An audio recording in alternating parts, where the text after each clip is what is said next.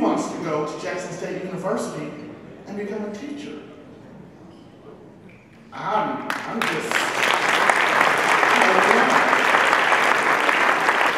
So without further ado, Markus Brooks, would you please come up?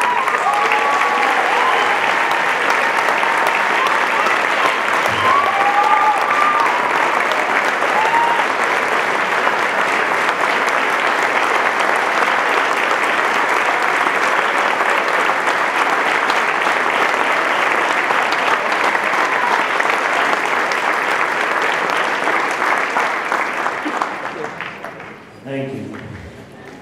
Good evening. Hi, my name is Markus Brooks, and I'm a senior at Normal Community High School. It's an honor to be able to accept the Mentee of the Year award from 100 Black Men of Central Illinois. I'd like to thank you guys for nominating me. I also like to thank my parents, my mom, Dorothy Brooks, who couldn't make it today, and my father, Donald Brooks, because you guys are the reason why I'm here, the person I am today.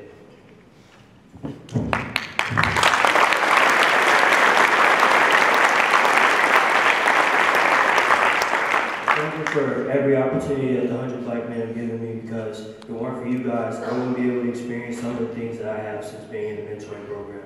Over the past three years, I've gained a lot of knowledge from learning Black history to how to manage stock, being encouraged to excel in education, and giving back to the community.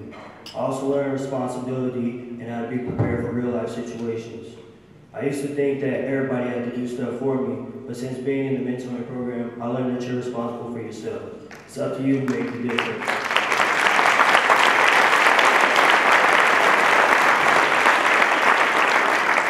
It's up to you to make the difference because uh, it's up to you to like,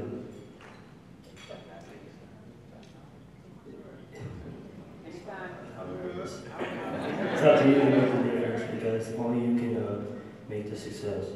I'd like to thank Mr. Hersey, Mr. Jones, Mr. Prather because you guys are the reason why I'm here. And I also like to thank Mr. Grover Trunell for encouraging me every week and just telling me that I can do anything no matter what because the sky's the limit. So thank you guys again. Have a nice evening.